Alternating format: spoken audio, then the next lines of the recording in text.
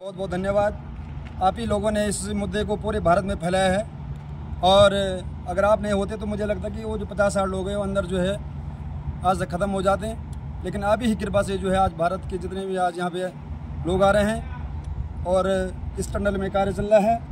और दूसरी बात, थोड़ा कंपनी की लापरवाही भी है। ये हमारे यहाँ पे लोकल लोगों की सुनवाई नहीं करते हैं।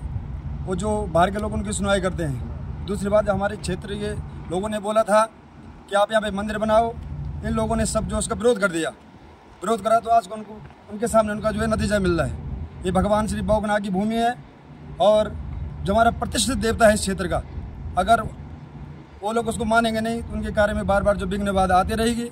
और दूसरी बात कि हमारे सारे क्षेत्र के लोग प्रार्थना कर रहे हैं कि भगवान, अति शीघ्र जितने भी हमारे भाई अंदर जो बंद हो रखे हैं टनल के अंदर, अति शीघ्र जो बाहर आ जाएँ। का मैं तो मानने वाले तो बहुत बड़ी चीज़ है। इधर देवता का तो हमारे जो है सेम नाग के सबसे पहले बहुत यहाँ पे बासों के नाग देवता है। ये पूरे हमारे बंडार सिंह, रवाई घाटी के जो है प्रसिद्ध देवता हैं। काली के नागा कपिला अनंतम श्री वासुगी तक्ष नाग राजा। जो ध्यान ध्यावे विषम सावे बंदे सदा हम सुखसेम काया।